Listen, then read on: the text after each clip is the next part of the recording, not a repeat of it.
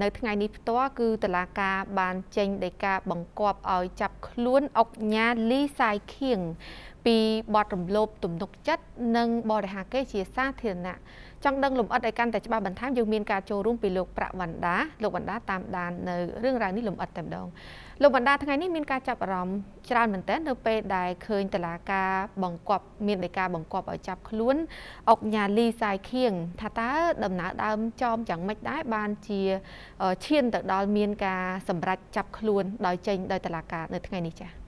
បាទខ្ញុំសូមជម្រាបជូនរក្សាក៏ដូចជាប្រិយមិត្តដែលកំពុងទស្សនា BTV ថា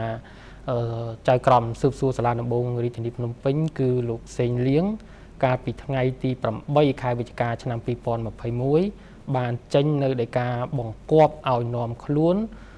ឈ្មោះលីសៃខៀងមានវ័យ58ឆ្នាំ ដែលយើងជាទូទៅគឺស្គាល់ហើយថាជាអុកញ៉ាលីសៃខៀងនោះចាអឺចំពោះដំណើរដើមតងនៅក្នុងសំណុំរឿងនេះ មិនទាន់ត្រូវបានលាតត្រដាងជាសាធារណៈនៅឡើយទេអំពីបទល្មើសឲ្យស៊ីជម្រៅនោះព្រោះថាស្ថិតនៅក្នុងការស៊ើបសួររបស់ចៅក្រមស៊ើបសួរនៅឡើយហើយនៅក្នុងដីកាបង្គាប់ឲ្យនាំខ្លួនអុកញ៉ាលីសៃខៀងនេះយើងឃើញថាលោកចៅក្រមសេងលៀងដែលជាចៅក្រមស៊ើបសួរសាលាដំបងរាជធានីភ្នំពេញបានលើកនៅរឿងរ៉ាវក៏ដូចជាដាក់នៅបទចោតចំនួន3មាត្រា គឺមាត្រា391 មាត្រា392និងមាត្រា305ដែលតេតិនទៅនឹងការចោតប្រកាន់អុកញ៉ាលីសៃខៀងពីបទរំលោភលើទំនុកចិត្តហើយនឹងបទបរិហាគេជាសាធារណៈបទរំលោភលើទំនុកចិត្តគឺក្នុងមាត្រា391នៃក្រមព្រំទាន់392ហើយនឹងបទបរិហាគេជាសាធារណៈនៅក្នុងមាត្រា305ចា៎នៅក្នុងដីកាបង្គាប់ឲ្យនាំខ្លួនរបស់ចៅក្រម ស៊ើបសួរសាលាដំបូងរាជធានីភ្នំពេញបានបង្ហាញអំពីរឿងរ៉ាវនោះថាវាបានកើតឡើងនៅអំឡុងឆ្នាំ2018និងឆ្នាំ2019ហើយ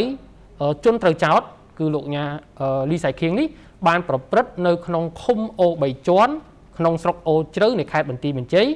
ហើយមួយមួយទៀតនោះគឺនៅក្នុងសង្កាត់និមិត្តនិងនៅក្នុងក្រុងប៉ោយប៉ែតខេត្តបន្ទាយមានជ័យដូចគ្នា អឺប៉ុន្តែរឿងរ៉ាវអំឡុងឆ្នាំ2018និង2019នោះថាតើលោកអុកញ៉ាហ្នឹងលោកបានអឺបរិហាគេអ្វីរំលោភលើទំនុកចិត្តនោះនៅក្នុងមូលធនឬក៏តម្លៃកម្រិតណានោះមិនទាន់មានការផ្សព្វផ្សាយជាសាធារណៈទេយើងឃើញថានៅពេលដែលតុលាការបានចេញនៅដីកាឲ្យនាំខ្លួនកាលពីថ្ងៃទី8ខែវិច្ឆិកាហើយនៅថ្ងៃទី10នេះមានការចែកផ្សាយនៅដីកាបង្គាប់ឲ្យនាំខ្លួននេះ លោកអុកញ៉ាលីសៃខៀងបានចូលទៅកាន់ស្នងការដ្ឋាននគរបាលខេត្តសៀមរាបនៅព្រឹកថ្ងៃនេះតែម្ដងហើយបើតាមការបញ្ជាក់ពីមន្ត្រីជាន់ខ្ពស់បានឲ្យដឹងថាលោកញ៉ាលីសៃខៀងនឹងត្រូវបានបញ្ជូនពីស្នងការដ្ឋាននគរបាលខេត្តសៀមរាបមកកាន់សាលាដំបងរាជធានីភ្នំពេញនៅរសៀលថ្ងៃនេះហើយអឺក្នុងសំណុំរឿងនេះបាទសូមអភ័យទោសក្នុងសំណុំរឿងនេះក៏ខ្ញុំសូមជម្រាបជូនប្រិយមិត្តថាអ្វីដែល ជាការកត់សម្គាល់យើងឃើញថានៅក្នុងបទល្មើសមាត្រា391ឬក៏392ដែលតេតិនទៅនឹងការរំលោភលើទំនុកចិត្តហ្នឹងគឺនិយាយអំពីការកេយបំបត្តិឬក៏កេងប្រវាញ់លុយកាក់អីជាដើមហ្នឹងនេះខ្ញុំនិយាយឲ្យភាសាសាមញ្ញឲ្យងាយនឹងយល់ហើយនៅក្នុងមាត្រា305ដែលនិយាយអំពីការបរិហាគេ គឺតេតិនដូចជាការចែកផ្សាយនៅគំនូនៅសំណេរនៅរូបភាពផ្សេងផ្សេង ទោះបីជាការផ្សព្វផ្សាយនោះជាគំនូជីវចលអីក៏ដោយបាទជាគំនូជាអីក៏ដោយនោះក៏ស្ថិតនៅក្នុងបទល្មើសនេះដែរអញ្ចឹងថាឲ្យស៊ីជម្រៅនៅក្នុងសំណុំរឿងតាមមាត្រាទាំង3ដែលលោកញ៉ាលីសៃខៀងបានប្រព្រឹត្តតែតុលាការលើកឡើងថាបានប្រព្រឹត្តនៅក្នុងឆ្នាំ2018 2016នៅក្នុង2018 2019នៅក្នុងខេត្តបន្ទាយមានជ័យនោះមិនទាន់មានការលាតត្រដាងទេព្រោះថាឥឡូវនេះគឺតុលាការបានចេញសម្រាប់ពីចំណុចនៅក្នុងដីកាបង្គាប់ឲ្យនាំខ្លួននេះគឺទី1 គឺឲ្យនាំខ្លួនលោកញ៉ាលីសៃខៀងនេះអឺហើយទីទី2នោះគឺចាប់ខ្លួនតែម្ដងបាទចំណុចទី2គឺឲ្យចាប់ខ្លួន មកកាន់ស្ថាប័នតុលាការដើម្បីសួរឆ្លើយបំភ្លឺការពិតតេតិនទៅនឹងសំណុំរឿងនេះហើយចំពោះដើមមិនដឹងជានរណានោះក៏មិនទាន់មានការផ្សព្វផ្សាយជាសាធារណៈដែរបាទ ចា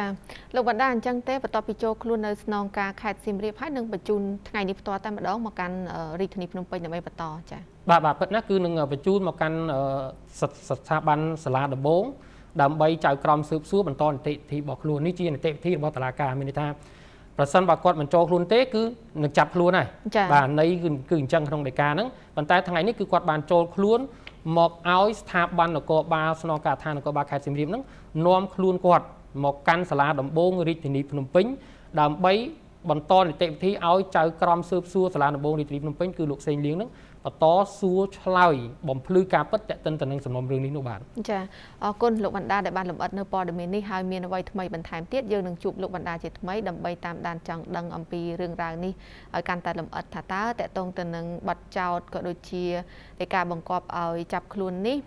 ថាតើដំណើរដើមតងលំអិតយ៉ាងម៉េចអញ្ចឹងមានអ្វីថ្មីយើងនឹងធ្វើការលំអិតជូនទៅដល់ទូតតាស៊ីជននៅពេលបន្ទាប់ទៀតអរគុណជម្រាបលាលោកបណ្ដាចា៎